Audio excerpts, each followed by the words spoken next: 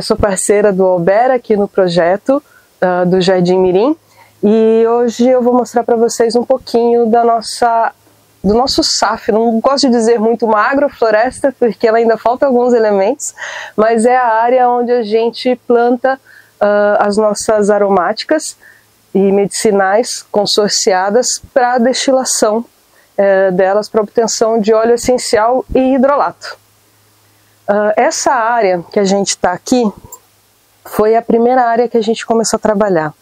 Era a área que tinha o pior solo de toda a propriedade, e a gente veio num processo de regeneração dessa área, basicamente com processos de adubação verde e também com as aromáticas. Então a gente veio, primeiro, os dois primeiros anos, na verdade, foram com mandioca, crotalária, é, margaridão, que tanto que o margaridão ele ficou aqui até hoje, né? e a gente veio aos poucos inserindo as plantas acompanhando a evolução do solo. Quando esse solo começou a ficar um pouquinho mais estável, ter um pouquinho mais de nutrientes, a gente começou a inserir as espécies aromáticas para ver quais se adaptariam à nossa região.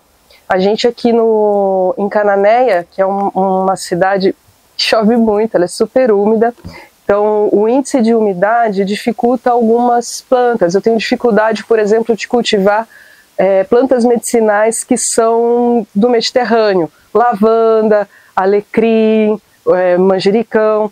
Manjericão não, mentira, manjericão ele vai bem, não aquele manjericão de folha larga, mas o manjericão pequenininho, manjericão anis, que eu tenho aqui em algumas áreas, que é o que a gente está replicando ele, inclusive. E dos testes que a gente fez, as plantas que tiveram é, maior adaptabilidade foram o capim-limão, esse é o capim-limão citratus, porque existe o capim-limão flexosos e os citratus, né? O flexosos, ele é bem, bem grandão, ele quase parece uma moita de, de citronela, de tão grande que é. O citratus, ele é menorzinho, e ele agora tá nessa, com essas folhas assim queimadas por conta do frio. O capim-limão, ele não tolera o frio. E ele, para manejo, exige alguns cuidados. A gente não pode deixar um, uma toceira muito fechada. É preciso sempre vir e fazer essa limpeza para deixar que o ar passe aqui por entre eles da base. E se a gente olhar isso daqui, por exemplo, ó, dá para ver que tem um monte nascendo, um monte de brotinho novo.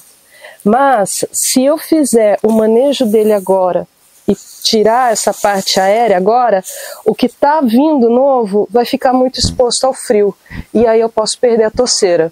Então eu opto nesse momento por deixar queimar, que as folhas em cima queimem, mas que ele resista ao inverno, para a gente voltar a trabalhar com ele assim que a temperatura voltar a subir.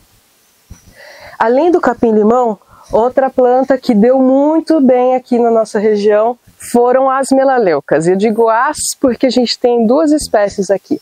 Essa daqui é a melaleuca branca, chamada Niauli. Uh, essa melaleuca, ela tem a, o composto dela é mais direcionado para trato do sistema respiratório. Então ele vai trabalhar muito essas vias, é, abrir o pulmão, enfim, ele facilita o processo respiratório. Já a melaleuca tea tree, que a gente conhece mais no mercado, que entra como antibactericida, é, antiviral, enfim, a, a, a coringa da, da, história é essa melaleuca, tá? a alternifolia.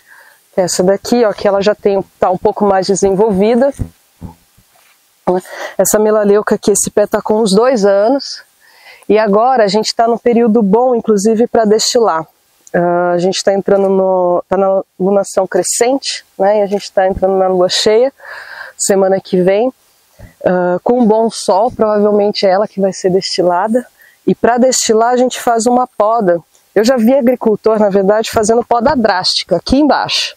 Mas a gente vai fazer uma poda aqui, pegar mais ou menos aqui de um metro e meio, tirar essa, essa parte superior para fazer a destilação. Né? E aqui eu aproveito a questão da lua uh, e do tempo porque eu tenho uma produção em pequeniníssima escala. As plantas, a gente sabe né, que a seiva das plantas elas vão subir e descer de acordo com a alunação. E quando eu tenho uma lua cheia e eu vou destilar a parte aérea da planta, eu tenho uma maior concentração desses princípios ativos. Então, além do meu rendimento ser melhor, ser maior, eu também tenho um óleo essencial de melhor qualidade. Uh, e um outro fator que é importante também a gente levar em consideração para a destilação das plantas é que o óleo essencial ele é produzido pela planta no seu sistema metabólico secundário. Ou seja, eu preciso de sol. Ele precisa fazer o processo da fotossíntese para poder produzir o óleo essencial. Então, para eu destilar, por exemplo, eu preciso de ter pelo menos de 3 a 5 dias sem chuva, com bastante sol, para ela ter essa produção. Além dela, outra planta que se adaptou muito bem aqui é a Lípia alba. Ela aqui já vai entrando no. tem características mais ansiolíticas, né, para relaxamento, para dores também. Qual o nome? Desculpa. Lípia alba é o é capim cidreira que é não. Cidreira. Ah, olha só, capim cidreira. Capim cidreira, que não é a melissa. Porque, é, aliás, essas muito. três plantas, todo mundo se confunde muito por conta dos nomes populares. O capim-limão ele é conhecido como capim-santo e capim-cidreira também. Sim. Mas ele é capim-limão. A lípia alba, ela, muita gente chama ela de falsa melissa porque ela também é muito parecida, principalmente no paladar. Mas no plantio é que eu não tenho a melissa aqui, a gente plantou e ela não gostou do lugar. A melissa ela é rasteira, ela é tipo um hortelã.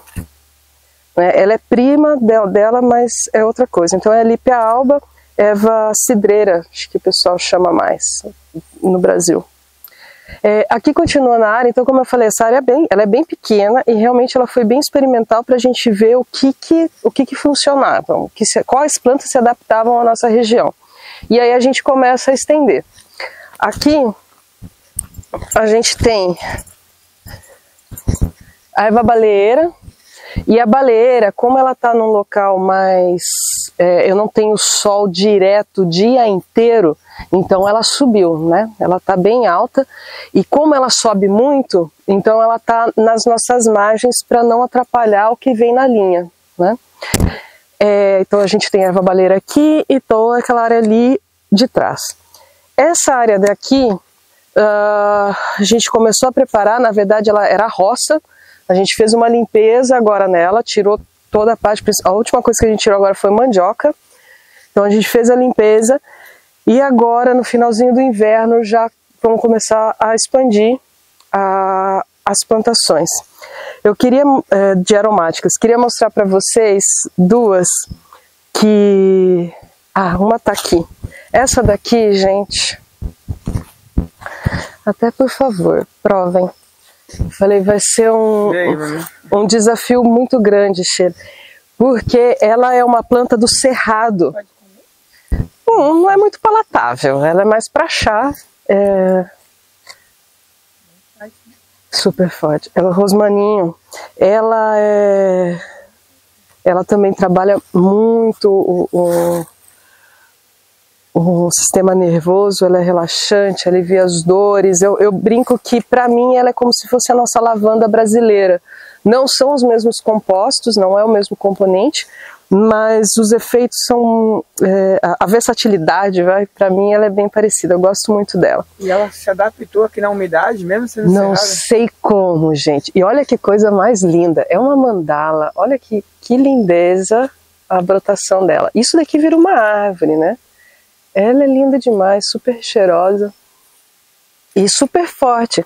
Eu até perguntei pro. Vou tentar pegar o foco dela aqui. Ai, eu tremo um monte ainda, né? É... Eu, eu sou estudante de espagiria, né? Espagiria, para quem não sabe, é a parte medicinal da alquimia. Então, é produção de, de medicamentos, de é, preparados espagíricos, alquímicos.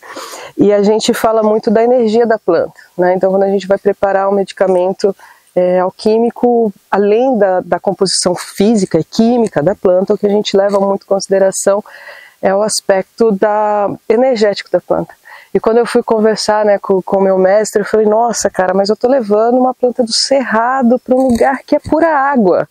né? O que, que vai acontecer com ela? Ela vai perder a expressão dela, né? Ela não, ela vai, a expressão dela vai ser a mesma, mas realmente a, a composição química e a quantidade dos compostos vai reduzir. Quando a gente fala dos óleos essenciais, a planta ela produz o óleo essencial para se proteger, basicamente. Ela ou vai se proteger, ou ela está chamando o polinizador e se comunicando, né? ou também é uma forma de reserva de, de alimentos para ela. Se ela está num lugar que ela está muito muito confortável, como por exemplo ela que é de um lugar seco, que está acostumada a sofrer estresse hídrico, ela vem aqui e nada de braçada na água, como que ela vai se comportar? Né? Qual é a energia que ela vai trazer? E ele falou assim, não, ela vai continuar carregando a mesma energia, porém ela vai produzir menos. É, é, ela, não, ela não precisa colocar tanta energia, tanta força para conseguir combater aquelas adversidades. Aqui ela já está mais, mais coberta. Então ela vai se expressar, porém menos. Aguardando ansiosamente para quando eu puder fazer a destilação dessa planta e ver o resultado. E essa área aqui a gente vai seguir o consórcio. Eu já tenho alguns manjericões que eu comecei a replicar muda.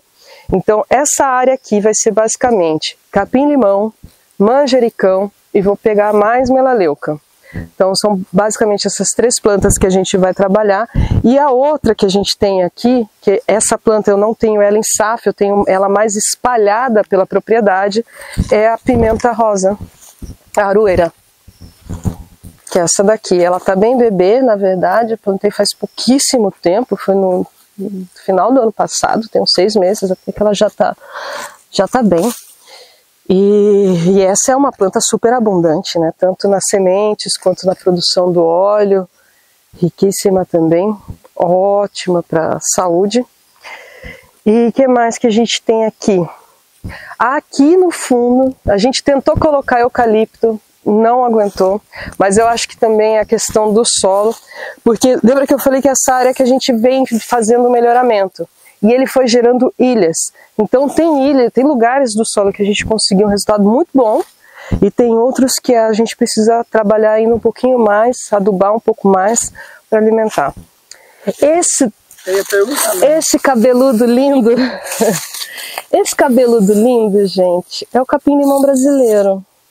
Ele inclusive tem as propriedades muito parecidas, mas ele é mais suave, ele é mais adocicado né? Ele é. E ele nasce espontaneamente. Ele também está mais na área de cerrado e também área de, de, de pasto, sabe? Para ser bem mais exata.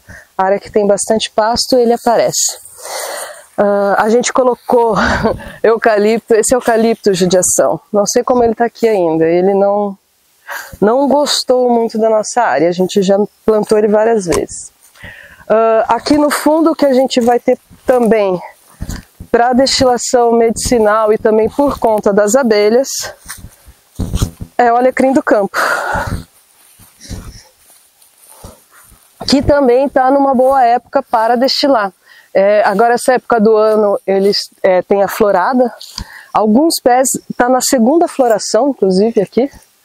E tanto ó, só de mexer já vem o cheirão de mel. A gente fala muito do alecrim pensando na abelha, mas para destilação, o que que você introduzia aí? O alecrim do campo, ele é um ótimo regenerador celular, cicatrizante.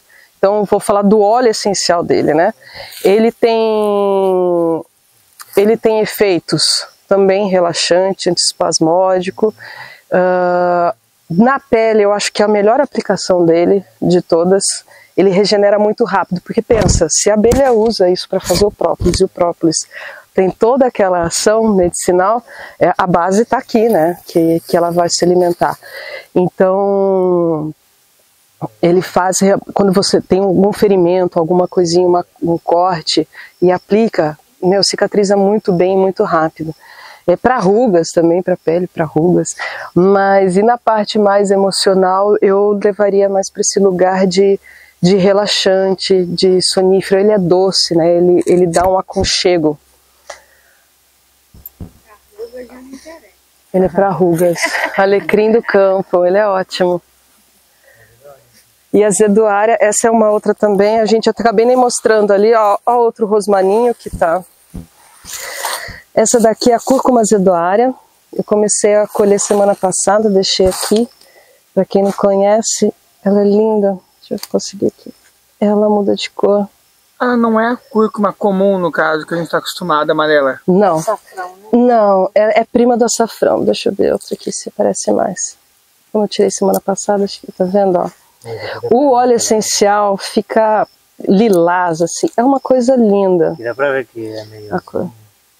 É diferente e, mesmo, né? E apesar de que, ó, se você sente o cheiro dela, tá, esse, esse é cheiro é, é o cineol. É de óleo mesmo. É o óleo dela. E, e, e, esse cheiro a gente vai perceber no Niauli que eu falei, ele é bem parecido, é o mesmo composto que está nessas plantas. E é, pode ver que quando a gente cheira, que parece um Vico Vaporub, que já limpa tudo na hora, né? Mas essa planta, além do sistema respiratório, ela trata também o sistema digestivo. Os japoneses utilizam muito ela para fortalecimento do sistema Olha, digestivo. Já vou pegar umas mudinhas já. Pode levar, ó. Isso aqui dá muda. Não é aquele que compra os peixes, não. Quando você vai comer peixe. Não, é gengibre. Ai, é, é... do que eles colocam, que falta matar a gente. É primo, é primo. É, você comentou disso aí. Vocês tentaram já a batata e a aqui também, não? Não, não tentamos. Para falar que não tentamos, no começo, primeiro ano, a gente tinha uma muda dela plantada lá onde era a nossa primeira área de, de plantio. Hum, acho que o Felipe, foi o Felipe até, o colombiano que a gente estava falando. O Felipe acho que chegou a colher e depois a gente é, não plantou encerrou. mais. Encerrou. Eles, é, é, que o chá não é palatável. Os japoneses, eles secam. Eles secam, encapsulam e tomam comprimido. E até a gente pegou, teve uma encomenda, foi ano passado, é, que a gente mandou hidrolato para eles. Ao invés de tomar encapsulado, então tomava o hidrolato. Esse aqui, levar lá para vocês. Uma pergunta aqui. É... Pode deixar, você tá com a câmera. Uma pergunta aqui que eu vi muito. Eu não sei se é a goiaba, o araçá, que aqui bastante? É a goiaba. Essas goiabeiras, elas nasceram de forma espontânea e eu tô deixando para daqui a pouco fazer uma seleção.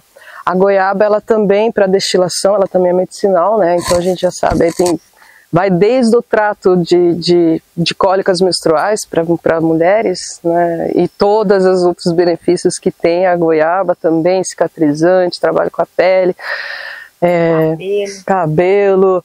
Até mesmo anticancerígena, né, tem bastante é, estudo sobre, sobre essa potência dessa planta, né.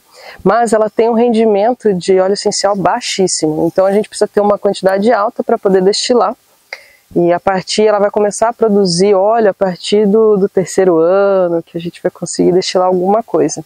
E a gente tem bastante ela aqui de forma espontânea, porque como tem muitas aqui na mata, tem muito passarinho e tem muito semente, então goiaba e araçá é a rodo por aqui.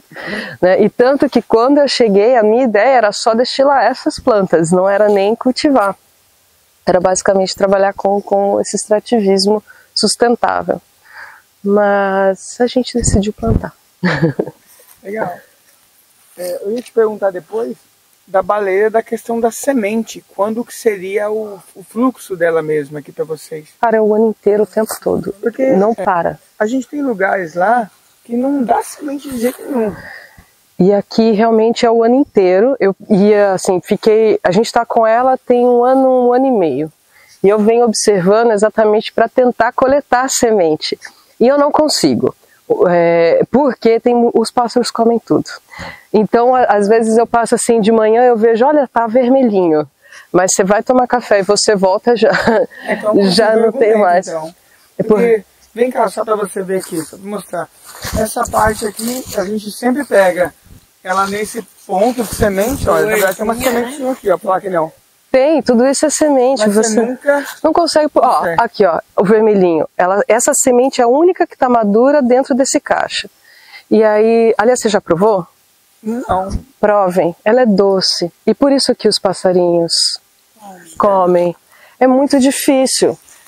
E o bom é que, de alguma forma, já estamos multiplicando ela no ambiente, porque A gente achou ela nascendo lá na outra ponta do sítio. Ah, é? Então aqui vocês Então, estão... é tipo um passarinho que já comeu e já depositou a semente. É, eu ali, já né? tô, é, a gente já tá tendo problema com ela, porque ó, olha aqui, que ela nasceu aqui, ela vai nascendo, ela, tá se ela, espalhando ela naturalmente. tá se espalhando natural. A E gente vai escolhendo. Ah, eu já fiz a tirar foto aqui, até. tá bom? É, então, a gente- ó, eu fiz esse manejo aqui, eu- foi, acho que foi segunda-feira, ou sábado, não lembro.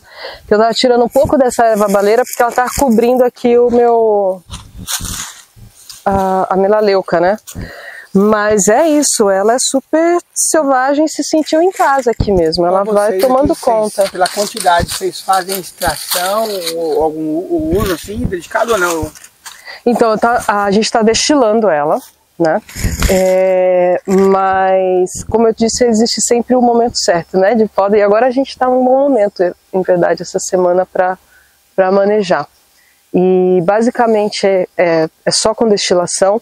A gente também tem a dificuldade com o processo de secagem, né? Para vender as folhas, porque eu teria que montar essa estrutura de estufa, de secagem.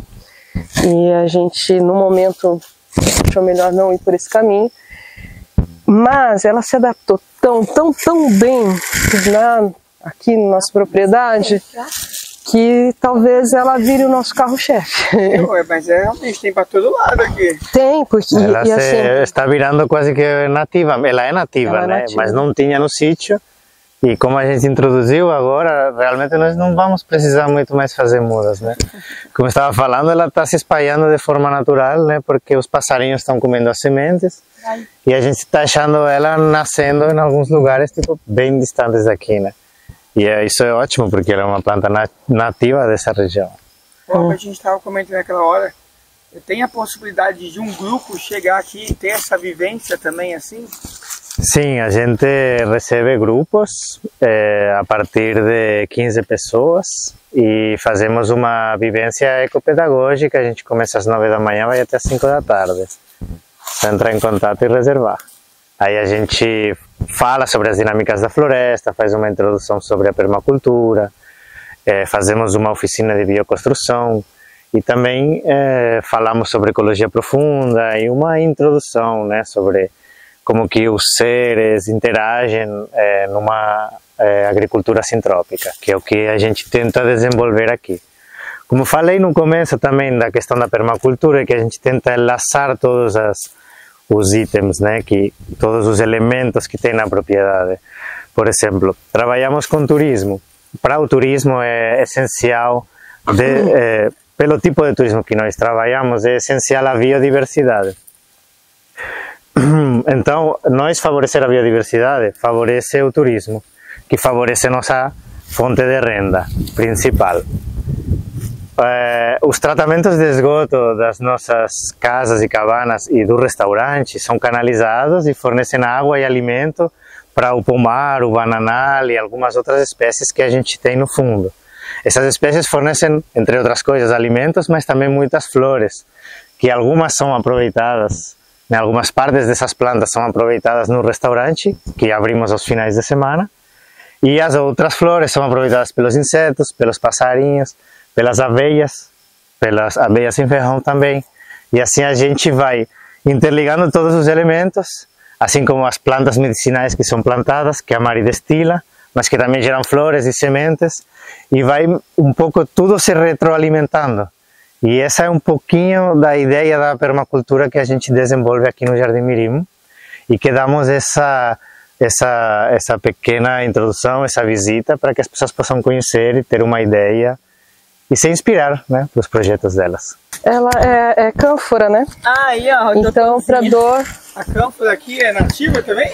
Não, mas ela- essa não é cânfora. Ela tem cânfora na no, no princípio ativo, mas não é cânfora. Essa é uma É, tá vendo? Ó, ela maiorzinha, ela vai estar assim.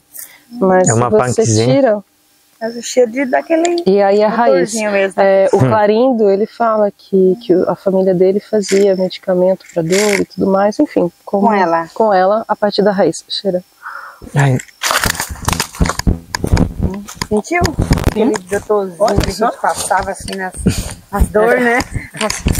É esse mesmo. É isso mesmo. Ó. Ah, não, essa flor é uma Não, essa é aquela que tem lá é. em casa, cara. Uma mirra. Ah, é falsa mirra, não é?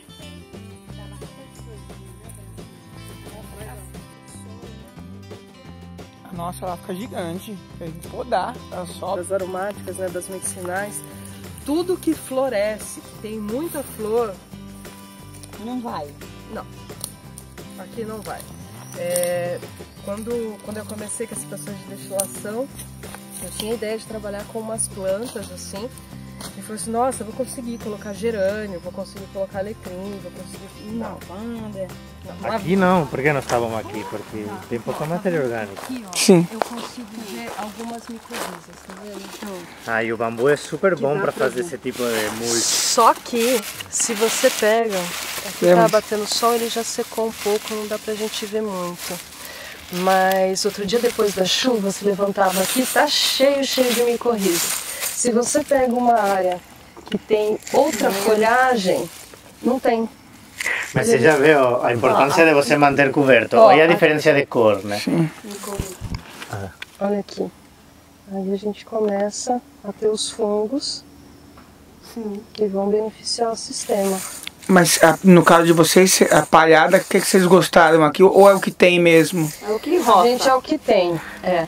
Se você for falar assim, o que, que dá maior alimento em, em menos tempo, o que se decompõe mais rápido e o que o solo consegue absorver é, também mais rápido e mais facilmente é capim.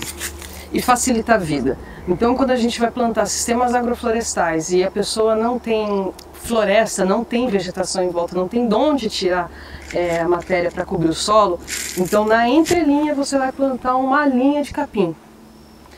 E aí você vai pegar no manejo, é, você já vem, corta esse capim e já tomba, sabe? Já corta e já tomba, já corta e já tomba. E aí você vai estar sempre cobrindo. No nosso caso, como a gente tem muita massa, a gente simplesmente recolhe essa matéria e joga. Tá? Sim. E acaba tendo uma diversidade maior de nutrientes também. Bom, pessoal, aqui é a nossa cabana Manda Saia, que está disponível para locação. E ela é um exemplo, eh, foi a primeira também que a gente fez, eh, de uma cabana de bioconstrução usando materiais do próprio sítio. Essa é uma técnica chamada cordwood, muito bonita, muito interessante e que a gente usa, usou madeiras, né? Que já estavam tombadas, caídas no sítio faz, fazia um tempo. Né? No caso, você precisa usar madeiras que tenham mais de dois anos que tenham sido tombadas, né? Para que sejam bem secas. E aí a gente usa os troncos, os tocos, como se fossem tijolos. A gente corta eles com 15 centímetros e vai colocando aí, empilhando. E a gente consegue subir no máximo é, uns 80 centímetros por dia, né? Então nós vamos colocando as madeiras, elas vão com os pregos no meio delas, né? E a gente vai preenchendo os vãos com barro e subindo a parede. É, bom, é, hoje está, hoje está a ciência demonstrou que as casas de barro elas são as melhores para o ser humano porque elas é, mantêm a umidade a umidade relativa dentro da casa. É, cinco- entre 45 e 55% o ano inteiro uma coisa que uma casa de tijolo de obra convencional não consegue fazer